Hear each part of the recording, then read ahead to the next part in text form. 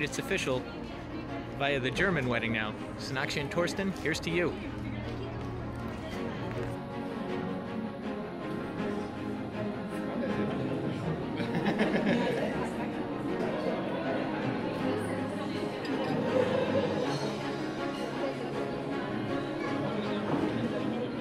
The Germans know their pastries, and there is an assortment of some of the best looking cakes in there I've ever seen.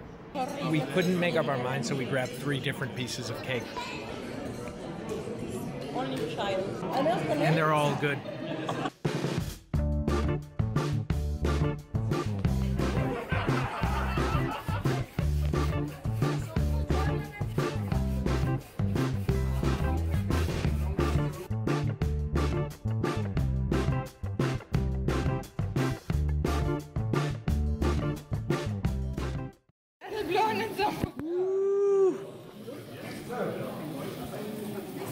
I have no idea what time it is right now, but German weddings go long.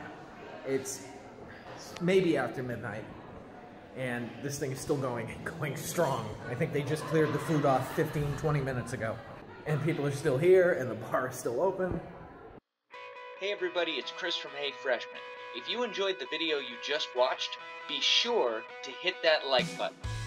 And while I don't want to pressure you, if you want to subscribe, also appreciate it.